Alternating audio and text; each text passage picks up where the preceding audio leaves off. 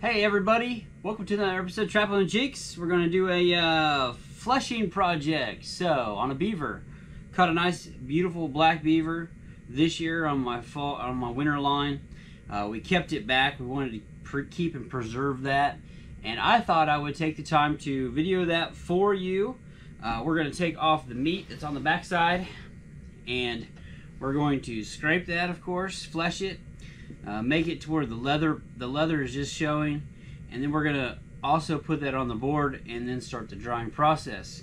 So in this video you'll find the scraping of the beaver hide in itself and the um, boarding process. So we're gonna get that started for you. It's real simple. Um, you can once this is all finished you can uh, send this off to a tannery which is what I plan on doing with this piece. Because um, it's going to be dried product or you could ship it off to a fur buyer, or you sell it locally if you desire to. So it'll. All right. So the uh, the items that you're gonna need to do this project is a fleshing knife. Now I don't use a real sharp knife. This is a cheaper knife. I've got another knife as well. Most there's not a lot of uh, not a lot of fat or meat to take off of the beaver. Uh, the hide will be super super thick, so it doesn't have to be terribly sharp. That's just my opinion. Uh, HD apron, which is in the kit code down below. And fur comb, hammer, gloves, and finishing nails so that we can put that on the board. Also have my beam in the background as you can tell. And then I have a board. Now you could just use a piece of plywood if you want. Um, mine of course has the, the, the, lines on it, but uh, they also sell beaver hoops if that's something you need. But a piece of plywood would work fine, especially if you're just to tan it yourself. The, the lines on this are kind of as a guide. So those are the items that we're going to be needing for this project, and let's get started. All right, folks. Er, the, my first process, anytime I pick up furs, I comb it. You never know when you're going to have a cocklebur sitting on the bottom of your trap, your truck. You don't have to usually worry about it so much with beaver, but I always my first process is always make sure that I, I comb it out. I just took this out of the freezer. You can you can go sideways like that, leather to leather, or you can roll it either way. But you, what you want to do is you want to go leather to leather for sure. And roll it up if you're going to store it any, any period of time. But that's how we got from there to here. Later on, I'll be able to do a skinning video for you guys. But uh, I pretty well combed this thing to pieces. Really beautiful product. So beautiful. Black beaver. This is the first time I caught a black beaver. Got it on video. And I'll be able to try. I'll click it on the end. But there we go. Got that all ready to go. And it's nice and clean. That's that.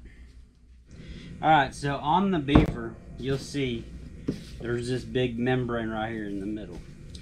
And usually where I like to start when I do my scraping processes up around the head, I'll cut out some of that lip or shorten up the legs a little bit. But this is just my opinion, this is how Jinx does it. I'll, a lot of times I'll start in here on the belly and then I'll roll that membrane over. I'll use my beam to help with that process and as long as I keep rolling over the fat, it'll collect, it'll come off there to look really nice. So that's just a suggestion that I have for you if you want to start it here on the belly. I cut a little bit of the meat around the, the front part there. all right, here we go. Here's my beam. And I'm, I'm not I'm not just doing I'm just doing one piece today for you. So I don't really feel like I have to go and really dress the floor up or nothing. Real cheap Dexter knife. It's not even a Dexter knife. It's super cheap. I'm going to start in right here. Just kind of roll it back. The nice thing about a beaver hide, guys, is it's super, super strong. So it's not thin. The leather's not thin. And you just kind of keep moving it back.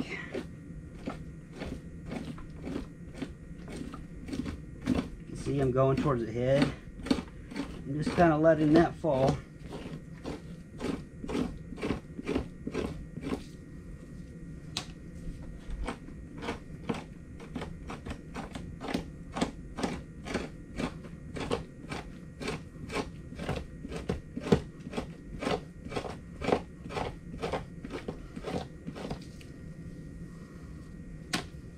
Once you get underneath that membrane, you just push.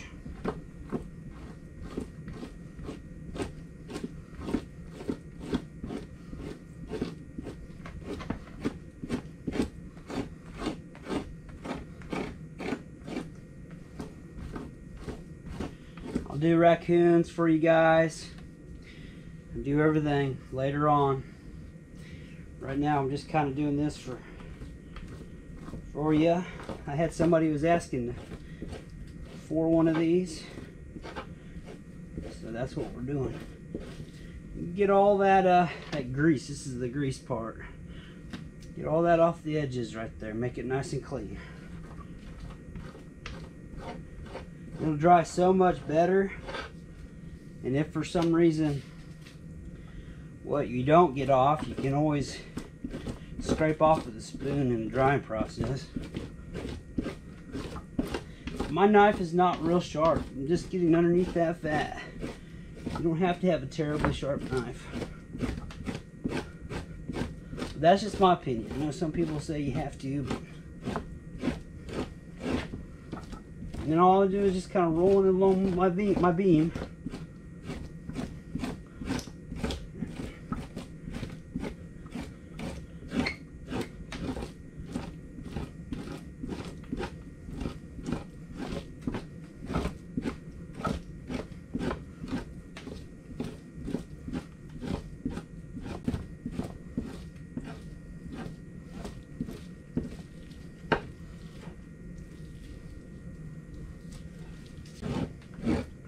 Try to keep my beam clean, that way it doesn't stick to the fur. That's just me though.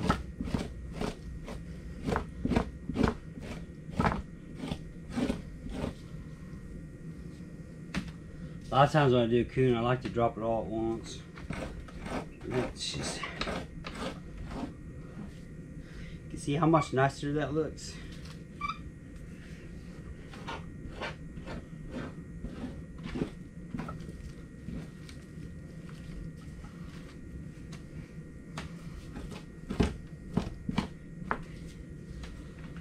pull it up. I'm going to drop this down the middle. I got to make a cut though.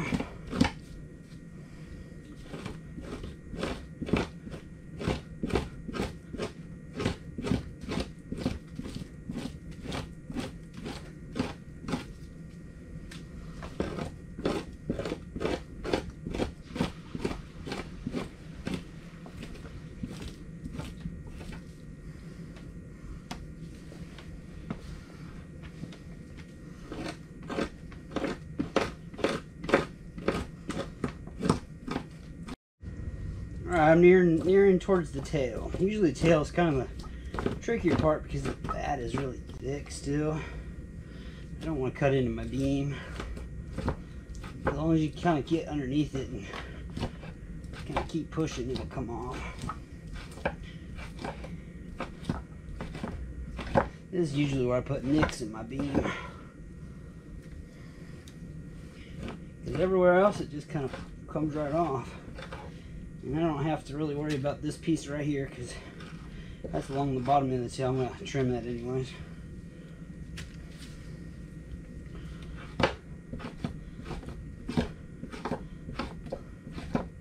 It's coming off pretty clean.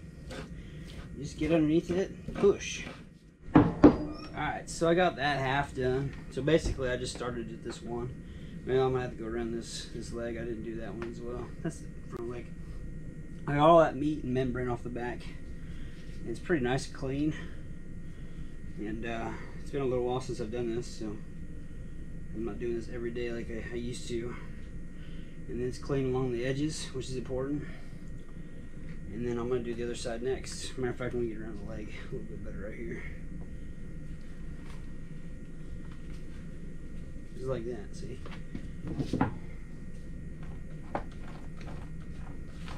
Let's see, uh, just get her down to the, get her down to the leather side and roll it over the top.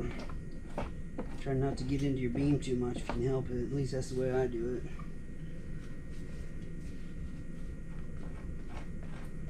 Yeah, rolls over pretty good. personally, when I go to flush flushing, I like to flush it with just a little bit froze. It's just how I, it just comes off better than when it's milky. It's been sitting out a long time. I like to freeze it first. It just seems like it flushes so much better. I don't know why. I think it has, like I said, I think it has to do with it just sitting around getting kind of milky. It rolls so much better. be careful of the ears and the meat around the neck.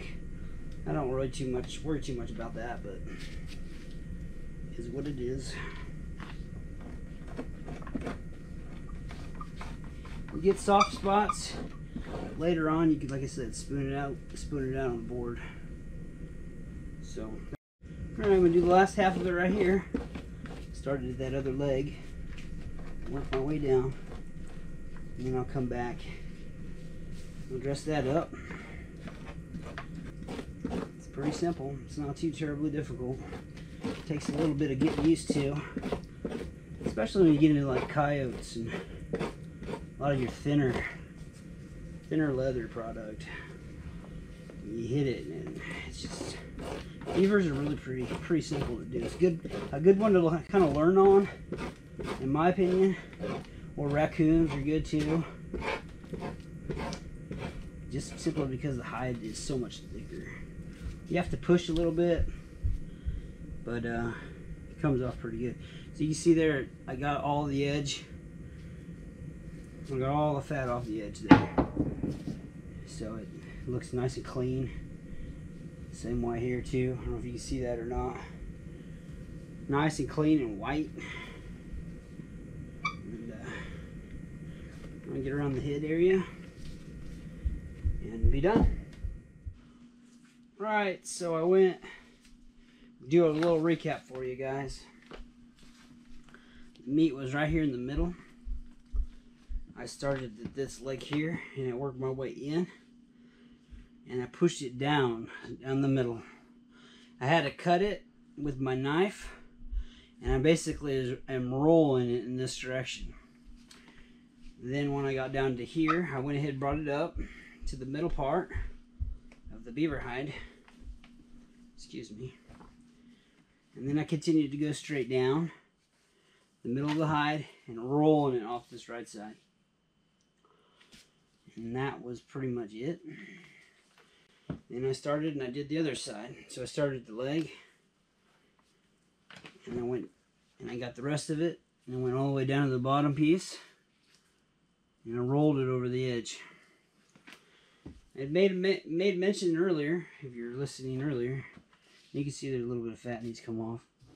Usually the tail, the very end piece, is probably where I, where I make nicks in my in my beam because it's super super thick on that back pack, that back piece there.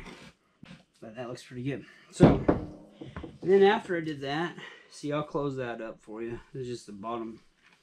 That's fine all the sides are super clean. You can kind of see that hopefully.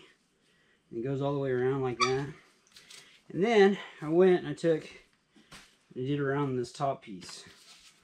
Wow, well you can see that. And worked around both arms. And I flipped the head this direction, like this. And went over the top of that, that head piece. There's still some meat that's going to be attached to that. I'm, I'm okay with that. This will get hard. There really isn't much here anyways. And it'll be fine once it goes through the tannery. I'll trim up a little bit of these arms. So see they're kind of long. I'll do that on the board. That is your finished product. All the meat, all the grease is gone, and we're ready for the board. Pretty excited.